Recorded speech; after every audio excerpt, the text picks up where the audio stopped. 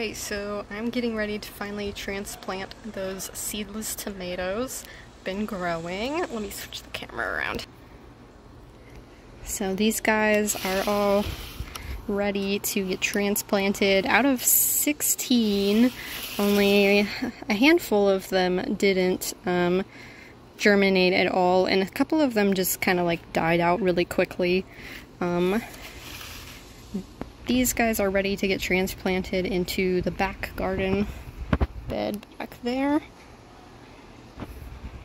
Um, some of them, I'm not sure how they're going to do because some of them got some bad like, sun damage. It's been pretty brutally hot here and I've been trying to um, get them acclimated to outside so hopefully they'll be all right and do better once they get transplanted. They've definitely stopped growing. Um, they don't have enough nutrients in these, so they're definitely ready for transplanting. And then I'll show y'all over here, I already transplanted the three best looking ones in this um, container that I showed y'all before. So I've got like a little um, sunshade cloth over this. And then you can see they're doing pretty well, especially that one in the back.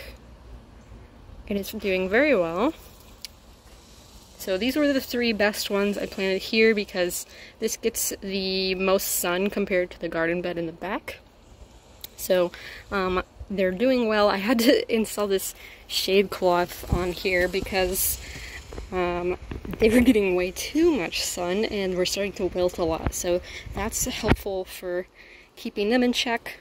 So I've got these ones. They've got a trellis that I'm going to have them grow up on the back here. And then I'm going to transplant the other ones, I've got some tomato cages you can see back here. Um, so experimenting with two different ways of letting them grow. And uh, yeah, so let's go ahead and transplant.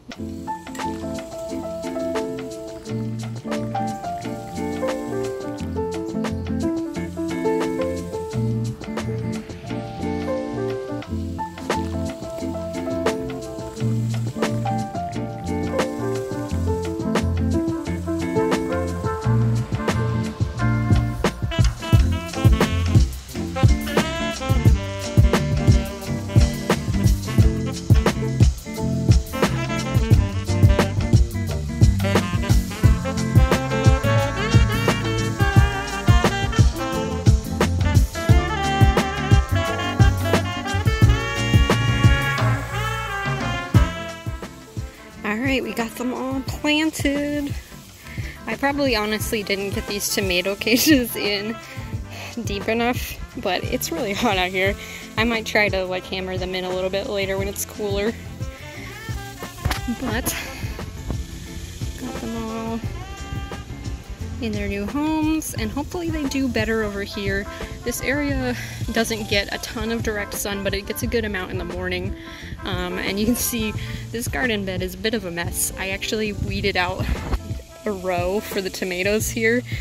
And then because we hadn't been taking care of it, there's so much more weeding to do. I'm going to deal with the other part later. But at least needed to get the tomatoes in so that they could start um, growing a little bit more again because they had definitely slowed down the past week or so. So I'm gonna kind of keep an eye on how these ones here do compared to the ones that are in the container over on the back porch.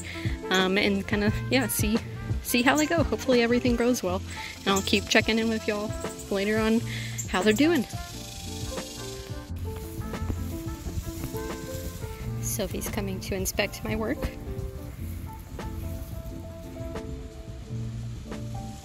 You gotta stay out of there.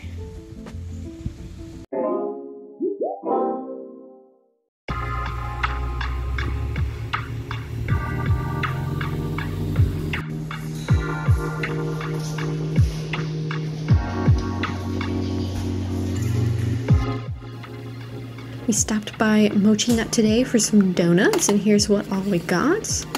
Um, got birthday cake, funnel cake, cinnamon toast crunch, and ube taro. And it always comes in this cute little box. Uh, they all look so good. Um, I really like Mochinut. I'm excited to eat these.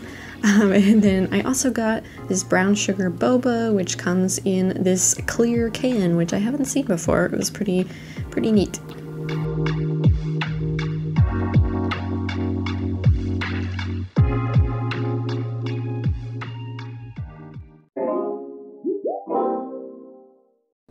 So checking in on the snake plant propagation, you can already see, I'll hold it a little closer, but it's been doing very well. see if I can get it, oh sorry, I'm apologizing to the big snake plant here. So we got lots of little root growth. So I think it's a good time to go ahead and transplant it back with its uh, original plant here. so this is Arbok, the large snake plant I have. Um, so I'm going to go ahead and transplant this guy back in here, add a little bit more soil because you can see it's kind of low. Um, and um, yeah, we'll see how it does in there. Got a couple of new growths as well. I think they're called pups. Um, and then this is, let me move the camera a little bit. This is the other new growth that I had right here. It's gotten quite large and it's got a couple of pups growing down there too. So yeah, gonna go ahead and transplant this and then um, this should be hopefully doing well again. Um, I'll keep an eye on it and we'll see how it does.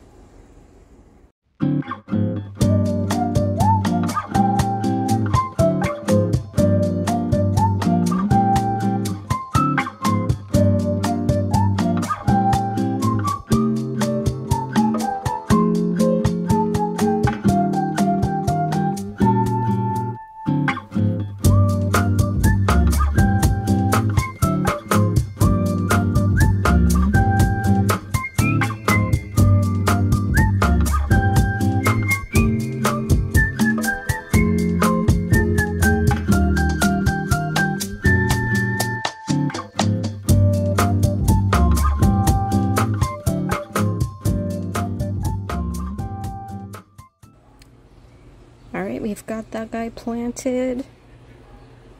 Hopefully it does well. And then it's been about um, maybe two weeks since I planted the tomatoes back there. So go ahead and check on those for y'all. And But first, we'll check on these ones here on the porch here. They are doing interestingly. it's been so brutally hot here. You can see this one doing horrible. This one in the middle here is trying its best. Um, and then because of the way this area is, um, this side of the house kind of casts a little bit of shade right where the third one is here. So this guy is actually doing pretty well. So just gonna keep an eye on that. Hopefully it'll do keep doing well. It's just been so brutally hot here. Um, I'm not sure how great they'll turn out, but hopefully we'll at least get a few tomatoes. And then here are the other tomatoes that were transplanted in the back. Um, these are actually doing surprisingly well. I didn't think that they would do great here because they don't get a ton of sun, but because it's been so brutally hot, it's actually worked out pretty well for them. So they're doing alright. It's still got some wilting from the sun. Try to get out my shadow out of the frame here. Um, yeah. So we'll just kind of keep an eye out, see how they keep doing, and hopefully, like I said, we get some tomatoes. Um, it's gonna be interesting, and I'll keep y'all updated.